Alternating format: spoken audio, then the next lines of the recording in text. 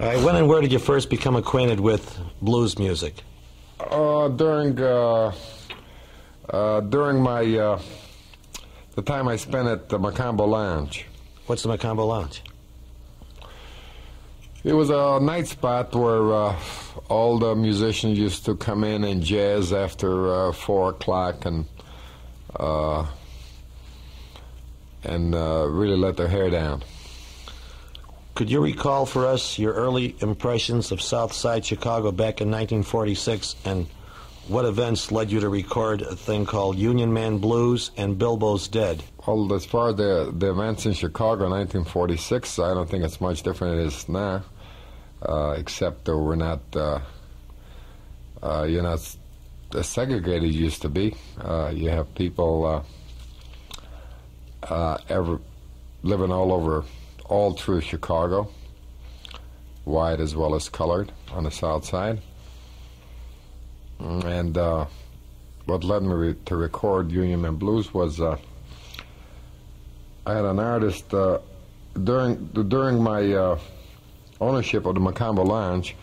Uh, during a jam session, I I uh, picked up a, an artist that was jamming, and we thought would be make a good addition to the combo I had in there as a vocalist. And after uh, employing him there, the, him there as a as a vocalist, uh, I had numerous record companies uh, speak to this uh, fella, Andrew Tibbs. And after two three weeks of uh, various companies hitting on him, I uh, asked them what what they wanted, and they told me they wanted to record him. And after kicking around a little bit, I figured they, they know something. They're in the business, and I was green. I didn't know anything about it. So they want to record him. He must be good. So we went ahead and recorded him. How about Bilbo's Dead? Well, well, that was the other side of uh, Union Man Blues. That was the flip side. Although we did have a lot of trouble with it at first. It was right after uh, uh, Bilbo death in, in the South, and uh, uh, this writer who wrote the song, who I remember was Andrew Tibbs, uh, he, he he wrote a lot of meanings that uh, were in between line meanings, and uh, we had a little trouble with uh, the law enforcements in the South at that time. Of course, we're going back 20, 20 some years, and uh, a lot of those records were broken up right out of the, from the record shop's shelves. Could you uh, give us your candid impressions, Leonard, about such artists as Chuck Berry, Muddy Waters, Bo Diddley, Wolf, Little Walter? Any of them? Any of them? Chuck Berry first. Uh, let's let's go in rotation. Chuck Berry was born after Muddy Waters. He was uh, one of our first artists. I think uh, Andrew Tibbs when was our first rec- recording of Union Man Blues and uh, Bilbo's Dead, and that record uh, was a pretty big record. And then uh, the artists started coming in, and Muddy Waters came in there and uh, asked me if he could record, and I listened to him of course, uh, being owner of the club and having various talents come in, uh, well, he, he sang a song and I got the goose pimples, and I felt that was he had something there because it affected me, and that was the first recording of Muddy Waters. What was Muddy's first recording? Oh, I think uh, L- Honeybee or I, I, I I really don't recall. Did you Oh, I- personally do the session, I Leonard? can't be satisfied. I, I uh, did most of the recording. Uh, for the first record was uh, recorded at Universal, but after the first record, we uh, accumulated some money and uh, we built our own console with a tape recorder, and uh, we used to do our own recording, our, our own engineering. How about Bo Diddley? Your first impressions of him, or your candid, candid impressions of Bo Diddley? Uh, Bo Diddley came in the studio and uh, he sang. Uh, uh, he he sang a song of uh, ham bones. I I I I don't know whoever may be listening to this uh, tape uh, may be much younger than I am, but uh, that was a popular song years ago. Uh, and uh, I told him I couldn't use it because the song was out, and uh, to go back home and change it around. And he did, and uh, came up with Bo Diddley. How about Chuck Berry? Well, Chuck Berry was uh, was struggling. He went to um, many record companies. Uh, I think in Chicago uh, mostly. I he was. Went, he told me that he went to see Mercury and they turned him down. And uh, he went to Columbia, and we had used to be a local label called Premium Records, and they turned him down. And uh, I, he walked in, and I listened to his tape. Had a he had a tape recorder and a song on it uh, called Ida Red, which was more of a Western type of song. And I told him that I wasn't interested in any uh, Western music. And again, I told him to go back and change it around to something in, that I was familiar with. And uh, he came back and uh, uh, with his band, uh, who consisted of three pieces, him and piano player and a drummer. And I think uh, I added Willie Dixon to the session, and uh, we cut Maybelline. Uh, it was. Uh, I didn't think much of uh, of of this uh, particular song, and and about two weeks later, I made a trip to New York, and I had a dub with me. And Alan Freed was a disc jockey in New York at that time at WINS and I gave him the dub, and I says, uh, "Play this," and uh, he played it. He said, "What's the name of it?" I said, "I don't know." He said, "What's the name of the artist?" I don't know. Just play it. And he played it, and by the time I got back to Chicago, I had calls from my distributors that want to know what what type of record did I give Alan Freed to play. How about your candid impressions of uh, Howlin' Wolf? Well, Howlin' Wolf I met in uh, West Memphis, Arkansas. I say it early early 50s, could be 1951, and uh, uh, Modern Record recorded him on a thing uh, called "Howling Howling for My Baby," and uh, they never signed him. Nothing happened to the record. I uh, I went ahead and recorded him and uh, with a with a song called "How Many More Years," and uh, he took off like wildfire. He's uh, he's a country country gentleman. How about Little Walter Leonard? Well, Little Walter was uh, one of uh, Muddy's men in his band. Uh, he played the harp for Muddy, and we got through with a session, and uh, we were just jamming around, and he played this juke that later on we, we called it juke. At that time, he just played an instrumental, and it came out pretty good. And uh, we uh, we released it, and uh, that made Little Walter, and Little Walter went out on his own after that record. You and Phil experimented with various sounds and techniques that revolutionized the rhythm and blues industry. Could you tell us, for example, how you hit upon that famous one tenth of a second delay? How did you hit upon that? That was mostly tape echo, what they call now. At that time, I, don't think we knew what it was. It was uh, just uh, uh, turning up the knob to a level where we'd get feedback, and uh, you turn you turn up enough of it just so it don't cause you no distortion. Just get give you enough feedback and liveness to give you that one tenth, which later on was became very popular. Was this in place of a of an echo chamber? Uh, that time they didn't, that was it. At that time there wasn't such a thing as an echo chamber. Well, you had mentioned some time ago, Leonard, about putting up a pipe or some such thing. Well, you want to tell us about that? Uh, the first echo chamber we built in in our studio in back of our office was uh, uh, we got a, I think it was about a 18 inch sewer pipe, and uh, two lengths of it was probably the length of it must have been about 24 feet and we hung it at the, in the ceiling in a back room. We put uh, a mic on one side of it and a speaker on the other, and that gave us the echo. You made some pretty important talent discoveries, both you and Phil, during your tours through the South. Did you not, Len? Yes, I've I've been very fortunate, lucky, I should say, more than fortunate. How important to Chess Checker was the work of blues great Willie Dixon?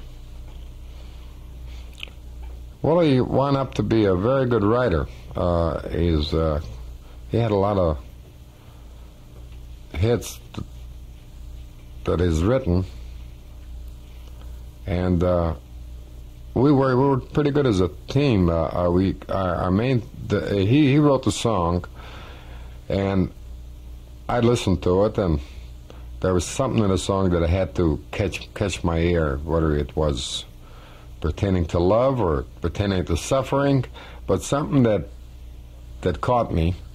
And once we picked the song out, we would go for uh, sustained riff in the background, and I'd have everybody play a different type of riff that would play this, that would fit this particular song.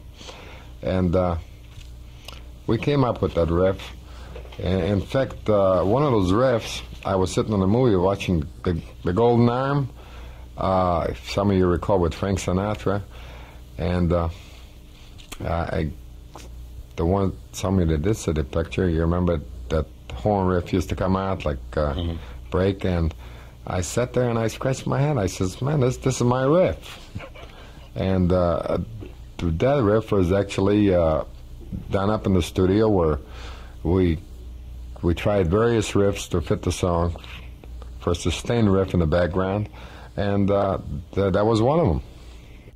Leonard, could you tell us anything about the 1948 session that produced the Muddy Waters recording of Rolling Stone?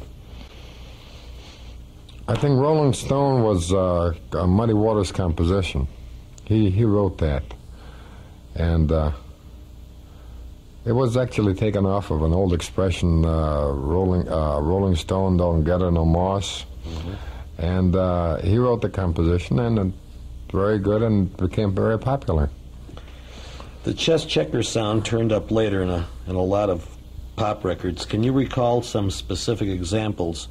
And what do you think about the early attempts by the pop people and major record firms to cover R&B hits?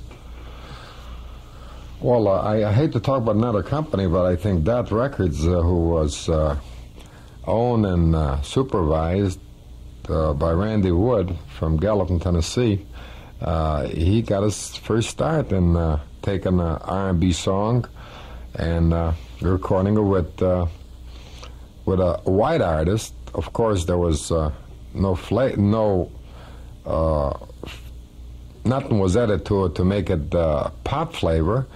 In fact, the ring was copied from the from one of our records, and and all they did was have a white singer sing it. Can you make an example of that, Leonard?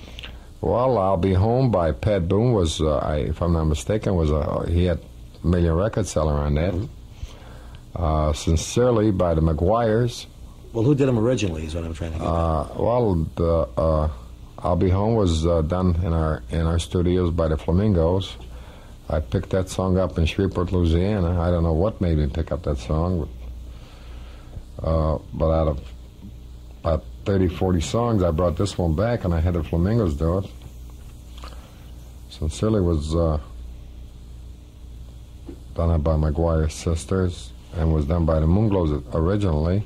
Most of all was another one that the Moonglows written and recorded and uh, done up by uh, McGuire Sisters. Oh, we had a numerous songs. Uh, in fact, uh, the the Rolling Stone group from England uh, made their fame on uh, uh, some of our compositions that uh, we produced in our own studios that we gave birth to, and the Beatles and the Beatles made their name on uh, a lot of our tunes. What major changes, Leonard, have you noticed in rhythm and blues music of 1946 and the present? Any major changes that you can see between what was being done in 46 and what's being done now with R&B tunes and recordings? Well, no, it's uh,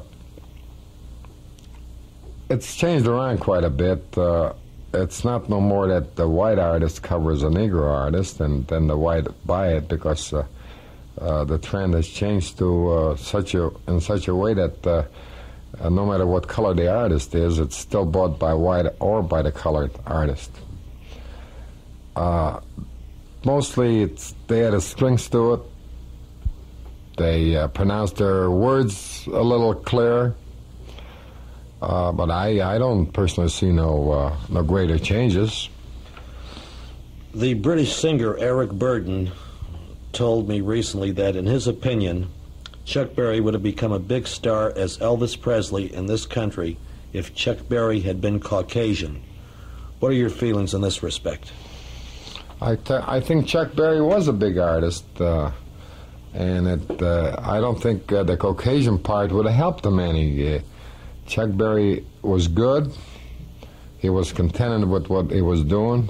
He wasn't looking at higher uh, and, uh, and higher windows. That's all. And I think that that's the thing that kept him back.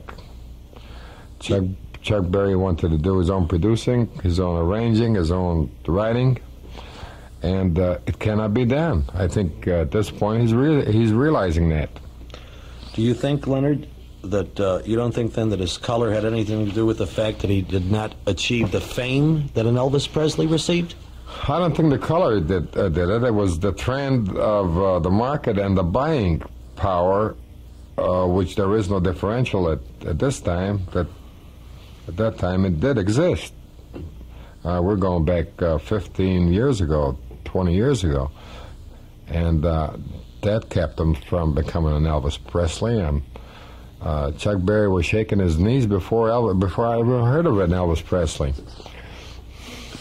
Uh, it's been said that a lot of talents dropped in and out of the blue during the two years that Aristocrat Record Company was in existence, and that some of the some other famous artists came to you in a similar manner from after Chess Records was formed. Uh, how about some recollections of those days and the Chess Brothers' rather unusual method of discovering blues talent? Did they just come in out of blues? Is that true? They just dropped in and, and knocked on your door, or what? No, I used to travel by car to the south quite a bit. And uh, in, fact, I used to have a Magnecord. Uh, some of you probably don't know it, haven't heard of that name, but uh, it was a very popular tape uh, tape recorder at one time. And I used to carry one in the car and uh, record them right on uh, on location, whether it would be on a plantation farm or it would be in a radio station I remember I recorded a hit one time during a record being played on the air. They only had one board, and uh, one channel was used for the air, and then the other channels was used to record this artist. And the artist had to get through in the length of that record. Leonard, you once you once mentioned to me this is, as you know, is going to be all dubbed out, so John Land at KRLA could take this out, but I think it'd be interesting to the listeners that how you would take a record and go into a town, into the South, for instance, uh, with records in the trunk of your car and go to a radio station and get the local disc jockey to play it and then call on. Would you would you tell us about that? That's really a very interesting. Thing. Oh, I, I used to walk in a town and uh, created the man before I I uh, actually went to my distributor. When I opened up uh, the front door of my distributor, he would ask me, uh, "Have I got the record with me?" And uh, although times have changed and uh, uh, you can't do those things anymore, you got to wait for a record day and uh, uh, you got to go through the PD. You have to go through the music director before a record is put on. At one time, we used to go in there and uh, the disc jockey was on the air and he'd take the record out of your hand and put it right on the turntable and play it. And that's how you knew. Mm-hmm.